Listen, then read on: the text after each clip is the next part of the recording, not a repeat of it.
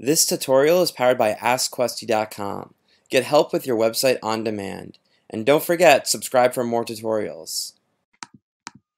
How to update database in WordPress.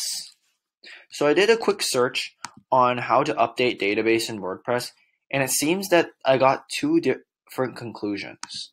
So one, the first one, it says that the WordPress database has a problem and you're seeing an error message that says error establishing a database connection.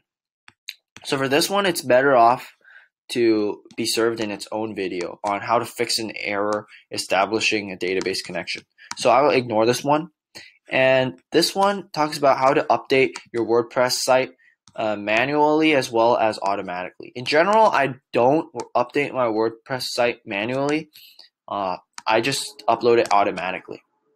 So if you do a quick search of WordPress update on, um, I use DuckDuckGo, you can use Google. Here's an image I found. And in general, when you update a, when you have WordPress updates, it'll show in, it'll show in your dashboard a message like this, where it says, um, where it's telling you to update to your WordPress and it says an updated version of WordPress is available. You can update to WordPress 4.9 automatically. And what you can do is you can click update now.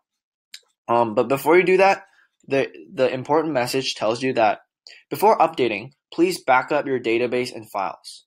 So what essentially this says is that WordPress will automatically help you update your databases, but in case something goes wrong, you want to back up your database and files.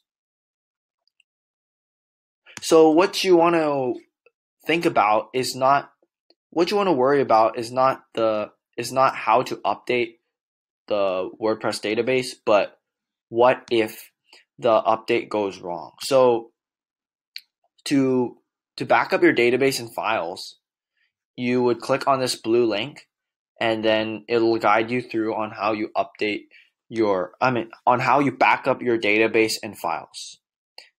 That way, if the WordPress automatic database update goes wrong, you can always come back to your backup.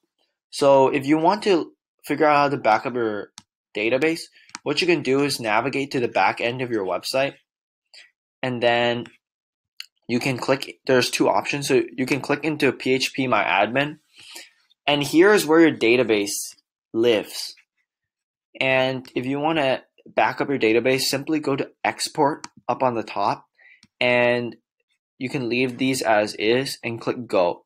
And when you click go, it'll download a copy of your WordPress database and that could be your backup. Another option is in the backend of your website, instead of going to PHP My Admin, you can go to backup. And inside of your backup, you can download a full account backup or like a part or a partial backup, an account backup, you can um, you can download just um, MySQL database backup.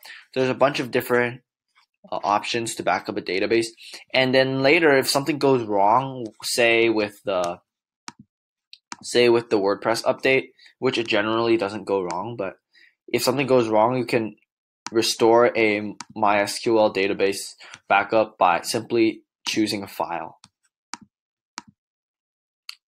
So that is how you update a database in WordPress. Thanks for watching. If this was helpful, please subscribe.